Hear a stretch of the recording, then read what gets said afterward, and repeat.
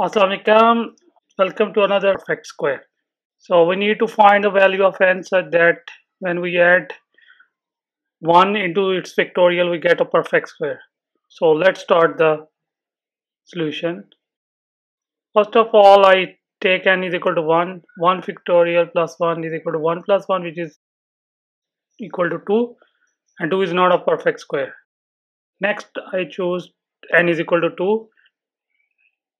2 factorial plus 1 is equal to 2 factorial is basically 2 so 2 plus 1 is 3 3 is also not a perfect square. Next take n is equal to 3 and we have 3 factorial plus 1 and that is equal to 3 factorial 6 6 plus 1 is 7 and 7 is again not a perfect square. Consider next value n is equal to 4.